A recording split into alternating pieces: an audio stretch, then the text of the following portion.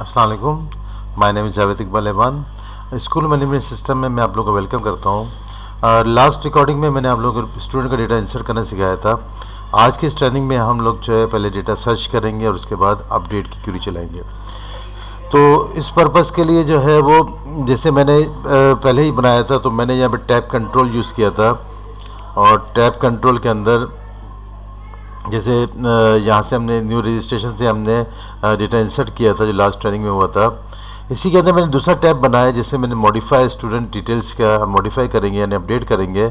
तो मैं इस तरह से काम करूँगा जैसे हम यहाँ पे रजिस्ट्रेशन नंबर यानी स्टूडेंट का जो रोल नंबर होगा रजिस्ट्रेशन नंबर होगा आ, उस वो कोई भी लिखेगा तो उसका मैं चाहता हूँ मैं टेक्स्ट चेंज इवेंट लूँ और उस चेंज इवेंट पे मैं ऑटोमेटिकली डेटाबेस में जो रिकॉर्ड उसका सेव है वो हम यहाँ से जो है वो तमाम टेक बॉक्सेस वगैरह में फिल कर दें और उसकी पिक्चर भी यहाँ पर पिक्चर बॉक्स में आ जाए। तो फिर इसके बाद फिर हम अपडेट की क्यूरी लगा के उसमें जो भी चेंजिंग होगी वो चेंजिंग करके उसको अपडेट कर देंगे। तो इस पर्पज़ के लिए हमारा जो पहला स्टेप होगा आ, उसके लिए मैंने जो स्टोर प्रोसीजर बनाया मैं आप लोगों से पहले शेयर कर लूँ स्टोर प्रोसीजर को। आ, मैंने स्टोर प्रोसीजर बनाया जिसका नाम मैंने रखा एस आर स्टूडेंट का और उसमें सिंपल सेलेक्ट की क्यूरी लगा के और वेयर का क्लाउज यूज़ किया है और मैं यहाँ रोल नंबर से उसको मैच कर रहा हूँ। तो उसके लिए जो है, अब जो तो ये तो इसी मैंने स्टॉप से पहले से बनाया हुआ तो उसको ऑल्टर किया हुआ है। आपने सिंपल यहाँ पे क्रिएट प्रोसीजर करना है और प्रोसीजर का नाम दे दिया और इस इन इन चीज़ों की आपको यहाँ पे ज़रूरत नहीं होगी। और सिंपल आपने जो है वो यहाँ पे इसकी जैसे यहाँ पे ज़रूरत नहीं है। आपने जो स्टोर प्रोसीजर बनाना है तो आपने सिंपल इसमें लिख देना है क्रिएट प्रोसीजर प्रोसीजर को नाम दे दिया और यहाँ पे हमने एक वेरिएबल लिया और उसकी टाइप जैसे मैंने आर के नाम से एक वेरिएबल लिया, उसकी टाइप मैंने इंटीजर पास की है। और क्यूरी मैंने लगा दी select asterisk from TBL student और जहाँ मैं वेयर के क्लाउस लगा के आर नंबर जो मेरा कॉलम का नाम था जो स्टूडेंट के उस टेबल में टीबीएल स्टूडेंट के अंदर आर नंबर जो कॉलम का नाम था, उसको मैं मैच कर रहा हूँ। एक पैरामीटर मैंने बनाया आर के नाम से, उसको मैं मैच कर रहा हूँ। और इस आर को मैं वहाँ पे डिज़ाइन मोड पे अपने प्रोग्रामिंग में यूज़ करूँगा कोड पे यूज़ करूँगा, और उस आर को यूज़ करके हम उसको उसकी वैल्यू दे देंगे। तो इस पर्पज़ के लिए आ, मैं चाहता हूँ जैसे यूज़र इसमें रोल नंबर लिखे तो ऑटोमेटिक डेटा आ जाए तो हम इसका टेक्स्ट चेंज इवेंट लेंगे स्टेक बॉक्स का। तो मैं स्टेक बॉक्स को डबल क्लिक करता हूँ तो स्टेक बॉक्स का चेंज इवेंट आ जाता है। अब यहाँ पे हमें क्या करना है क्योंकि हम स्टोर प्रोसीजर स्टोर प्रोसीजर को यूज़ कर रहे हैं तो हम एस कमांड को यूज़ करेंगे और उसका ऑब्जेक्ट बना के और उसके आर्गूमेंट पे डायरेक्टली मैं यहाँ पे स्टोर प्रोसीजर का नाम दूँगा जो मैंने यहाँ बनाया एस आर स्टूडेंट के नाम से। हमने यहाँ पे इसको पास कर दिया। और इसके साथ ही फिर मैं इसको कनेक्शन का ऑब्जेक्ट दे दूँगा, जो मैंने कनेक्शन बनाया डी के अंदर डी क्लास थी। और डी क्लास के जो क्लास का जो ऑब्जेक्ट मैंने बनाया था डी के नाम से लास्ट ट्रेनिंग में मैंने सब कुछ समझाया हुआ है आपको। और वहाँ पे कनेक्शन स्ट्रिंग मैंने बनाई हुई तो उसके लिए, उसके अंदर कनेक्शन स्ट्रिंग है, जो मैंने सी ओ एन के नाम से मैंने जो वहाँ पे ऑब्जेक्ट बनाया स्कूल कमांड की क्लास का। तो उसको मैं पास कर दूँगा। डी हमारा ऑब्जेक्ट है डेटा एक्सेस लेयर की जो हमने क्लास बनाई थी, उसका ऑब्जेक्ट है। अब यहाँ करने के बाद अब मुझे इसको पहले बताना पड़ेगा कि स्टॉप प्रोसीजर है तो हम लिखेंगे सी एम डी जो हमारा ऑब्जेक्ट है। इसकी कमांड की क्लास का हमने कहा C M D dot command type और equal to command type dot store procedure ठीक है जी? अच्छा अब मुझे बेसिकली क्या करना है? आर के नाम से जो मैंने पैरामीटर पास किया, मुझे उसकी वैल्यू पास करनी है। तो अब जैसे मैं, मेरे जो टेक बॉक्स है जो टेक बॉक्स मैंने ये बनाया है रजिस्ट्रेशन नंबर के नाम से तो इसका नाम मैंने रखा है टेक बॉक्स टू। तो मैं इस टेक बॉक्स टू से इसको मैच करूँगा और बाकी तमाम टेक बॉक्सेस के मैंने नाम दिए मैं आ, वो भी जैसे सबके नाम मैंने अलग अलग से दिए मैं जैसे यहाँ पे मैंने T X T S name दिया हुआ है और यहाँ पे जो है मैंने इस तरह से सबके अलग अलग नाम दिए मैं तो पहले तो हम इस पर आएँगे टेक बॉक्स टू के। हम टेक बॉक्स टू से इसको आर की वैल्यू में मैच करूँगा। तो हमने कहा C M D dot parameters dot add with value और यहाँ पर आके पहले तो मैं जो आर के नाम से मैंने वहाँ पे पैरामीटर वेरिएबल बनाया हुआ है उसको मैं यहाँ पे डिफाइन करूँगा और फिर उसको बताऊँगा उसको वैल्यू कहाँ से मिलनी है तो हमने कहा text box to T X T R number sorry T X T R number dot text से उसको वैल्यू मिलेगी। ठीक है जी? अच्छा अब T X T R number से उसको वैल्यू दे देंगे। अब इसके बाद मुझे क्या करना है, मैं, मेरे पास यहाँ पे दो रास्ते हैं, मैं ए डी डॉट पर काम कर रहा हूँ तो मैं इसको कनेक्टेड आर्किटेक्चर भी यूज़ कर सकता हूँ डिसकनेक्टेड भी कर सकते हैं ना? तो आई थिंक यहाँ पे कनेक्टेड आर्किटेक्चर बेहतर रहेगा जब क्योंकि हमारे पास बहुत सारे कॉलम है तो मैं लूप चला के एक ही दफ़ा सारा डेटा उठा लूँगा इसके अंदर। तो लूप चलेगी तो ज़रा फास्ट आउटपुट होगा। तो इस पर्पज़ के लिए हम सबसे पहले क्या करेंगे, हम कनेक्शन का ओपन करेंगे। हमने D dot connection dot open कर दिया। फिर इसके बाद मुझे एसक्यूएल डेटा रीडर की हमारे पास क्लास होती है। हम इस क्लास का ऑब्जेक्ट बनाएँगे और ऑब्जेक्ट बनाने के बाद यहाँ पे जो सी एम डी इसका सी है, हम C M D dot C M D dot execute reader के नाम से मेथड होता है हमारे पास। तो हम एग्जीक्यूट रीडर का मेथड यूज़ करेंगे ताकि एग्जीक्यूट भी करेगा और साथ में रीडर रीड भी करेगा और वो एसक्यूएल डेटा रीडर की रीडर की क्लास को मैंने क्रॉस कर दिया। तो जो डी ऑब्जेक्ट है, वो बेसिकली यहाँ से सी एम डी के बाद जो क्यूरी है, वो एग्जीक्यूट रीडर के मेथड के ज़रिए से उसको एग्जीक्यूट करेगा और डी आर के बाद उसको क्रॉस कर देगा, पहुँचा देगा। अब पहले तो मैं चेक करूँगा आया जो रोल नंबर लिख रहा है, वो डेटा है कि नहीं? तो फिर हम इसके लिए क्या करेंगे? डी हमारा ऑब्जेक्ट है, हम लिखेंगे D R dot has rows करके मैं इसको चेक करूँगा कि अगर रो है उसके पास, तब तो ठीक है। और अगर वो वैसे रोल नंबर लिखता है जो रोल नंबर डेटाबेस में अंदर मौजूद नहीं है तो देन उस सूरत में हम यहाँ पे इसको मैसेज पास कर देंगे, हम लिखेंगे मैसेज बॉक्स डॉट शो और मैंने कहा रॉन्ग रोल नंबर ठीक है जी? और अगर उसको रोल नंबर सही लिखता है और डेटा सही पास करता है रोल नंबर सही लिखता है तो फिर मुझे यहाँ पे रीड कराना पड़ेगा। तो मैं चाहता हूँ मैं रीड भी कराऊँ और साथ में लूप भी चला लूँ तो डायरेक्टली हम लिखेंगे while D R dot read और इसके आर्गूमेंट पे आके अब मुझे क्या करना है? वन बाय वन देखें डेटा को मुझे क्रॉस करना है। तो और जहाँ पे टेक बॉक्सेस के अंदर पास करना है। तो अगर मैं यहाँ पे स्टूडेंट के रिकॉर्ड आपको दिखाता हूँ, जैसे हमारे पास स्टूडेंट के, जब टी स्टूडेंट का जो डेटा मौजूद था हमारे पास तो लास्ट क्लास में मैंने जो इसमें इंसर्ट किया था तो मैं आपको दिखाता हूँ जो हमने टेबल बनाया था टी स्टूडेंट का, जो लास्ट क्लास में मैंने आपको समझाया भी था। उसमें डिफरेंट हमारे पास देखिए कॉलम है। आर नंबर हमारे पास ज़ीरो इंडेक्स पे आ रहा है। एड डेट का मतलब फ़र्स्ट कॉलम इंडेक्स पे आ रहा है। ये एस नेम सेकेंड इंडेक्स पे आ रहा है। जेंडर हमारे पास जो है थर्ड इंडेक्स पे आ रहा है। तो ये डिफरेंट इंडेक्स पे आ रहा है। और इसके अंदर अगर मैं रिकॉर्ड्स को मैच करता हूँ तो हमने दो रिकॉर्ड की एंट्री की थी। एक हमने पहला रिकॉर्ड इंसर्ट किया था, इसके बाद मैंने दूसरा रिकॉर्ड इंसर्ट किया था। तो जो हमारे पास यहाँ पे रोल नंबर आ रहा है, वो हमारे पास रोल नंबर जैसे ज़ीरो इंडेक्स पर है डेट हमारे पास वन इंडेक्स पर है एस नेम हमारे पास जो है वो सेकेंड इंडेक्स पर है। तो ये आपके पास डिफरेंट इंडेक्सेस पे जो आपके पास जो डेटा आ रहा है हमारे पास, अब ये मुझे इसको क्रॉस करना है ना? तो इस पर्पज़ के लिए मैं क्या करूँगा? एक तो मुझे इंडेक्स भी मालूम होने चाहिए सही क्लियर होना चाहिए अभी कहाँ उसका डेटा पास करना है? तो उसके लिए मैंने यहाँ से पहले से बना के रखा ताकि मैं मैं आपको बता दूँगा कि कौन सा डेटा किस टेक बॉक्स में आएगा। तो मेरे पास डिफरेंट मेरे जो कंट्रोल्स हैं, मैं उसको यहाँ पे आके मैच करूँगा। जैसे मेरे पास जो है वो डेट टाइम पिकर जो है डी टी पी एडमिशन टूर और टैक्स के नाम से तो इसके अंदर जो है हमारे पास वन इंडेक्स पर जो डेटा है हमारे पास है। वन इंडेक्स पे आपके पास जो डेट आ रही है, यानी ज़ीरो पे रोल नंबर आ गया, वो तो हम अपने हाथ से लिखेंगे। वन इंडेक्स पे जो एट डेट आ रही है, वो मैं यहाँ पे जो है वो वन इंडेक्स के डेट अपने जो डेट पिकर है, उसमें पास कर दूँगा। फिर जिसमें टेक बॉक्स जिसका नाम रखा टी एक्स टी एस ने और उसको, उसके बाद जो है, मैं सेकंड जो थर्ड पोजीशन जो है ज़ीरो से स्टार्ट करें तो थर्ड पोजीशन पे एस नेम है यानी असद का जो नाम है, अगर मैं रोल नंबर टू लेता हूँ तो असद का नाम आ जाएगा। उसका जेंडर हमारे पास मेल आ रहा है, जो कॉम्बो बॉक्स में हम पास करेंगे। तो ये सारा मैंने अपने कंट्रोल्स का नाम लिख दिया, जो मैंने कंट्रोल्स बनाए हुए हैं, और यहाँ पे हम उसके इंडेक्स पास कर देंगे, जो उसके इंडेक्स जिसमें वैल्यू आएगी। और एट लास्ट आखिर में जो पिक्चर में पास करूँगा तो मैंने आपको लास्ट क्लास में भी कराया था, जब इंसर्ट की क्यूरी कराई थी, वहाँ मैंने आपको समझाया था कि मैंने आईएमजीएस के नाम से मैंने एक वेरिएबल बनाया था और ये वेरिएबल बेसिकली मैंने आपको बताया था कि मैं, मैंने जो है बिन के अंदर डीबक के फोल्डर में बनाया हुआ है। अब देखो, आपको दिखाता हूँ मैं बिन में डीबग के फोल्डर में आई का नाम से एक वेरिएबल बनाया फोल्डर बनाया हुआ है, और उसमें मैंने पिक्चर सेव किया। अब देखिए वन की पिक्चर मैंने सेव नहीं की थी, यानी वो मैं आपको चेक कर रहा था टू की पिक्चर यहाँ पे सेव की हुई है। तो रोल नंबर टू वाली पिक्चर जो यहाँ सेव है सब जब रोल नंबर टू लिखूँगा तो ये पिक्चर मेरे पास आएगी, जो कि मेरे पास पिक्चर मौजूद नहीं थी तो मैंने आपके सामने यहाँ से एक पिक्चर उठा ली थी। तो ये जो मैंने आई एम जी के नाम से जो फोल्डर बनाया है, ये मैंने डीबक के अंदर बनाया तो जब हम डीबक के फोल्डर में बनाते हैं तो फिर हमें लोकेशन देने की ज़रूरत नहीं पड़ती। क्योंकि हमारी रूट लोकेशन कहलाती है। तो अब जो इसके लिए हम डायरेक्टली जो है वो इमेज हमारे पास इमेज डॉट फॉर्म फ़ाइल करके हमारे जो ये हमारे पिक्चर बॉक्स का इमेज बॉक्स का नाम है। जो हमने नाम रखा था, इसको डॉट इमेज इसकी प्रॉपर्टी है।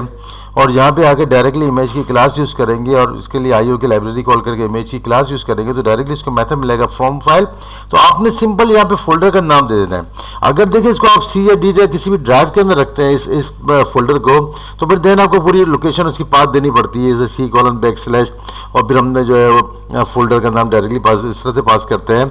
लेकिन अगर आपने डीबक के फोल्डर में आपका फोल्डर रखा होता है तो फिर हमें लोकेशन देने की ज़रूरत नहीं पड़ती। हम डायरेक्टली उस फोल्डर का नाम दे देते हैं।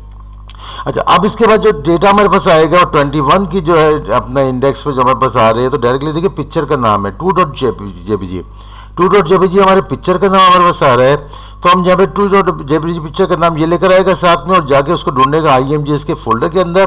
और आई के फोल्डर के अंदर देखें टू डॉट जेपीजी की पिक्चर हमारे पास मौजूद है तो ऑटोमेटिकली इस पिक्चर को लेकर आ जाएगा। चला के दिखाता हूँ, मैं आपको रोल नंबर टू का डेटा उठाते हैं। अच्छा पहले तो इससे यहाँ पे हमने कर दिया, फिर हम कनेक्शन को भी क्लोज कर देते हैं। हमने यहाँ पे हो गया आप कनेक्शन ओपन किया रीडर रीड करा के वाइल की लूप चला दी डेटा उठा लिया और उसके बाद फिर अपने यहाँ पर आके कनेक्शन को क्लोज कर देना है। अच्छा अगर यहाँ पर आके, अगर फॉर एग्ज़ाम्पल अगर किसी को रो नहीं होती तो कनेक्शन तो पहले से ओपन होगा तो फिर इसके लिए हम कनेक्शन को क्लोज करने के लिए यहाँ पर कनेक्शन को क्लोज करेंगे।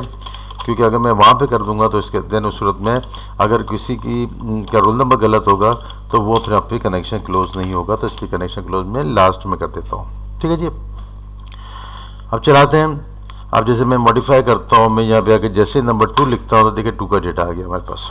तो जो रोल नंबर टू का हमारे पास डेटा मौजूद है, नाम असद है जेंडर हमारे पास मेल है स्टैंडर्ड के अंदर क्लास मौजूद है। तो ये देखें, यहाँ पर जो है, वो जो डेटा इसका यहाँ मौजूद है, और लास्ट में टू डॉट जे की पिक्चर हमारे पास आ रही है तो ये सारा डेटा वहाँ से उठेगा, और इसके बाद जो है वन बाई वन तमाम टेक बॉक्सेस के अंदर पास हो जाएगा, जो हमने वहाँ पे पास किया हुआ है। ठीक है जी? ये टेक बॉक्सेस के नाम मैंने रखे हैं अगर आप अपने, जो भी अपने नाम रखे होंगे, अपने उस, उन नामों को आप यहाँ पास करेंगे और इसके बाद इंडेक्स आप वही दे देंगे जिस इंडेक्स पे आपके डेटा वहाँ मौजूद है। तो मेरे जैसे वन पे जो डेट आ रही है टू पे जो स्टूडेंट का नाम आ रहा है थ्री पे हमारे पास जेंडर आ रहा है। तो ये आप जो इंडेक्स आपके जो होगा वो इंडेक्स यहाँ पास कर देंगे और यहाँ पे अपने कंट्रोल्स का नाम आ जाएगा। और लास्ट में मैंने पिक्चर जो पास की हुई है और पिक्चर बॉक्स के अंदर जो पास की है से मैंने इसको पिक्चर दे दी। ठीक है जी? तो इस तरीके से हमारा डेटा सर्च हो गया।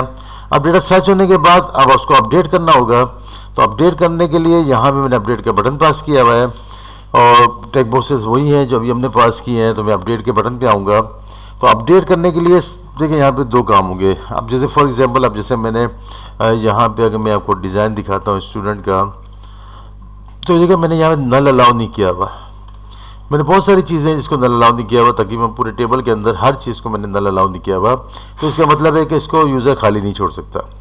अब अगर आपने किसी को नल नल अलाउ किया होगा तो फिर तो देना, अगर हम उसको उसको फिल नहीं करता या अपडेट करते हुए, उसको जो है अपडेट इंसर्ट नहीं करता, वो खाली छोड़ देता है ब्लैंक छोड़ देता है तो देन अगर नल अलाउ होता है तो फिर तो कोई इशू नहीं है।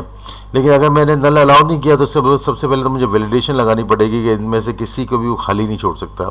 तो जब किसी को ब्लैंक नहीं छोड़ सकता, अगर ब्लैंक छोड़ेगा तो उसको मैसेज आ जाएगा। तो फिर इसके लिए मैंने तमाम टेक बॉक्सेस को यहाँ पे चेक किया इफ़ की कंडीशन के अंदर।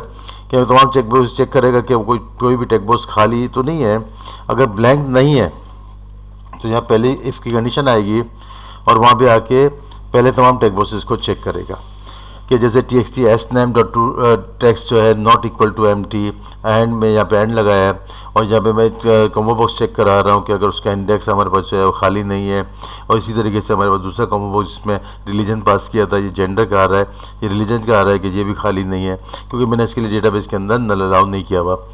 और इसी तरीके से सारे कम्बो बॉक्स को मैं चेक करा रहा हूँ टेक बॉक्सेस को चेक कराऊँगा फादर नेम वगैरह, सारे टेक बॉक्सेस को चेक कराएँगे। अगर इनमें से कोई भी खाली नहीं छोड़ता तो देन फिर उस सूरत में आपके पास यहाँ पे इस ब्लॉक के अंदर आएगा, जहाँ पे हम इसको अपडेट करेंगे। और अगर वो किसी को ब्लैंक छोड़ देता है तो देन एल्स की कंडीशन आ जाएगी। और मैं यहाँ पे आके मैसेज पास कर देता हूँ।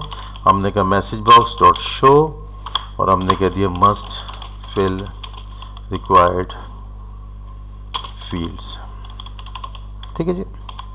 तो अगर किसी को ब्लैंक छोड़ेगा, क्योंकि एंड लगाया बीच में तो देन उस सूरत में वेल्स पे आ जाएगा, उसको मैसेज पास कर देगा। अगर वो ब्लैंक नहीं छोड़ता तो देन उस सूरत में यहाँ पे अपडेट की क्यूरी चलेगी। तो अपडेट की क्यूरी के लिए यहाँ पे वही है पहले एसक्यूएल कमांड पे आएँगे। मैंने अप स्टूडेंट के नाम से मैंने स्टोर प्रोसीजर बनाया है। मैं आपके साथ शेयर करता हूँ स्टोर प्रोसीजर को, देख लीजिएगा। अब देखिए अब स्टूडेंट के नाम से मैंने स्टोर प्रोसीजर बनाया है। यहाँ पर वही बात है कि जो कि मैं इसको ऑल्टर मॉडिफाई किया तो ऑल्टर की कमांड लगा दी। आपने सिंपल यहाँ पे क्रिएट प्रोसीजर की कमांड लगा दी है। और यहाँ पे आपने जो है अप स्टूडेंट के किसी भी नाम से आपने स्टोर प्रोसीजर बनाया यहाँ पे मैंने different variable parameter variable pass किए हुए आर नंबर उसकी टाइप इंटीजर है, जो कि आर नंबर को मैच करेगा। एट डेट के नाम से बनाया एस नेम जेंडर ये सारे मैंने जो है वो वेरिएबल पास किए पैरामीटर वेरिएबल पास किए हुए हैं। उनकी टाइप मैंने यहाँ पे असाइन की हुई है। और लास्ट में मैंने अपडेट की क्यूरी लगाई है? अपडेट टी स्टूडेंट सेट और यहाँ पे पहले कॉलम को चेक करेगा। अपने पैरामीटर से मैच करूँगा, फिर कॉमा लगाया। दूसरा कॉलम इस तरीके से करते करते मैं सारे कॉलम्स को यहाँ पे आके चेक करूँगा। जितने भी कॉलम्स हैं उन सबको इस पैरामीटर के साथ हम मैच करेंगे। और लास्ट में आखिरी रो के अंदर भी आके हम इस तरीके से सबको आके मैच कर लेंगे। तो मैं आपके सामने इसको फुल स्क्रीन कर देता हूँ ताकि आपके सामने क्लियर हो जाए और आप इसका स्क्रीनशॉट ले सकें। तो आई थिंक मैं यहाँ से इसको कर देता हूँ। ठीक है? ताकि आपके सामने आसानी से आप उसका स्क्रीनशॉट ले लेंगे। तो ये हमारे पास अपडेट की क्यूरी हो गई और यहाँ मैं वेट करके जो इसको मैच करवा रहा हूँ वो आर नंबर यानी जो हमारे कॉलम का नाम है आर नंबर उसको आर नंबर पैरामीटर पास किया उससे मैं मैच करूँगा।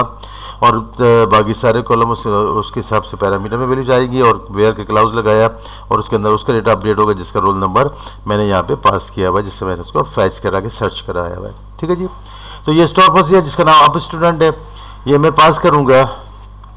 तो इसके लिए वही एसक्यूएल कमांड की क्यूरी हमारे पास चलेगी, हम आप स्टूडेंट के स्टॉप प्रोसीजर देंगे, और इसके बाद जाके हम इसको वन बाई अपने कॉलम से मैच करेंगे कि कौन सा डेटा हमारे पास कहाँ पे चाहिए। तो इफ़ की कंडीशन पहले चेक करेगा, अगर डेटा सारा हो जाता है, इसका मतलब है कोई भी खाली, खाना खाली नहीं छोड़ता, देन उस सूरत में हमने यहाँ पे जो है वो पहले तो मैं कनेक्शन का ऑब्जेक्ट दूँगा। अब स्टूडेंट मैंने अपने स्टोर प्रोसीजर का नाम दिया फिर अपने मैंने कंट्रोल्स का नाम दे दिया, और फिर इसके ये पैरामीटर दे दिया, और उसको मैंने अपने कंट्रोल से वैल्यू बता दी कि कौन से कंट्रोल से कौन सी वैल्यू पास करेगा। और इसके बाद फिर यहाँ पर आके हम जो है उसको एग्जीक्यूट करेंगे। तो हम पहले कनेक्शन को ओपन करूँगा। डॉट ओपन का मेथड लगा दिया। फिर हम एग्जीक्यूट करेंगे। हमने कहा C M D dot execute non query का मेथड है, जिसके रिज़ल्ट क्यूरी एग्जीक्यूट हो जाएगी। और फिर हमने कनेक्शन को क्लोज कर दिया। और क्लोज करके यहाँ पे मैसेज पास कर देंगे कि भाई डेटा हमारा अपडेट हो चुका है। हमने कहा रिकॉर्ड अपडेटेड और फिर इसके बाद हमने यहाँ पे सी एल आर के नाम से जो मैंने लास्ट क्लास में, जो मैंने वाइड मेथड बनाया था, जिसमें मैंने टेक बॉक्स को खाली किया था तो देन सूरत में हम उसको मैंने कॉल कर दिया उसको ब्लैंक कर देगा। तो इस तरीके से डेटा इसको अपडेट हो जाएगा, करके दिखाता हूँ मैं आपको। तो पहले तो हमने यहाँ पे आके रिकॉर्ड को मैच किया, मैंने रोल नंबर टू के हिसाब से रिकॉर्ड को मैच कर दिया। अब मैच करने के बाद अब उसमें कोई भी चेंजिंग करनी है। आप जैसे फॉर एग्जांपल मैं यहाँ पे असद की जगह कर देता हूँ। मोहम्मद असद आवान कर देते हैं। और कोई और चेंजिंग करना चाहे तो वो कर लेते हैं। और हमने यहाँ पे जो फादर नेम भी चेंज कर देते हैं। हमने कहा जावेद इकबाल अवान और यहाँ पे इस तरीके से हमने जो भी चेंज करना चाहेंगे हमने सारे टेक्बॉक्स के नाम पास किए हुए हैं और इसके बाद मैं अपडेट का बटन प्रेस कर देता हूँ। तो आई थिंक कोई इशू है इसके अंदर। R number which was not supplied R number मैंने T X T R number से दिया तो है।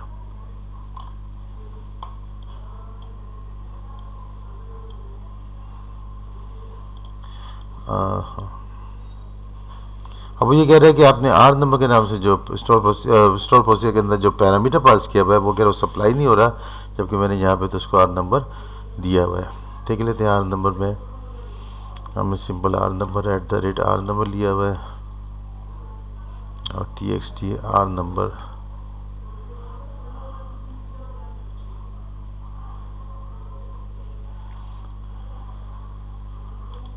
I think ये T X T R number two modify में। T X T R number two से कर रहा हूँ मैं।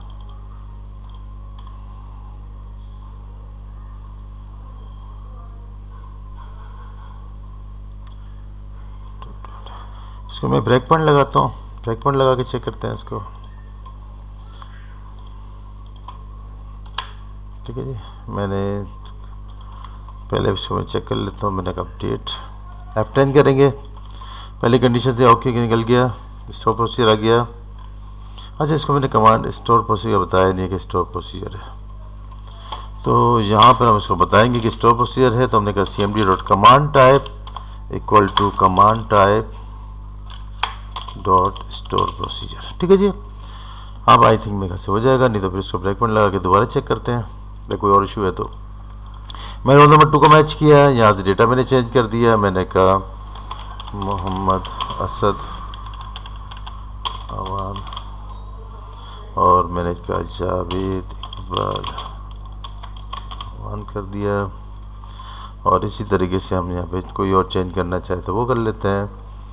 और इस मैंने यहाँ पे आई थिंक चलें, जाने दें। और इसको अपडेट कर देते हैं। अपडेट हो गया। ठीक है रिकॉर्ड अपडेटेड रिकॉर्ड अपडेट हो चुका है। तो यहाँ से आके इसको ब्लैंक कर दिया।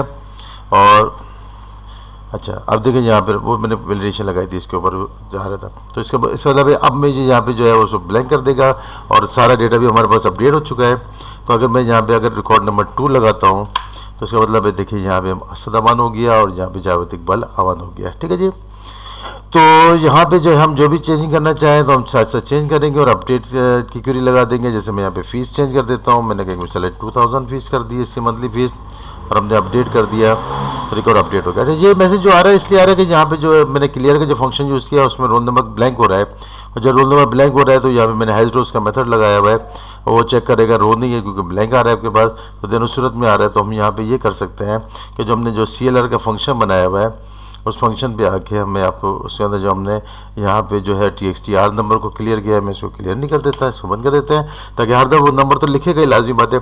और जब नंबर लिखेगा तो उसके अंदर जो है जो भी चेंजिंग होगी तो इस तरह का वो तो नया रोल नंबर लिखेगा जिसके अंदर वो चेंज करना चाहता है तो अगर मैं जैसे अप, अपडेट करूँगा तो मतलब रिकॉर्ड अपडेट हो गया और आपके पास एरर नहीं आया क्योंकि यहाँ पे उसको उसने ब्लैंक जो है उसकी जगह रोल नंबर रह गया।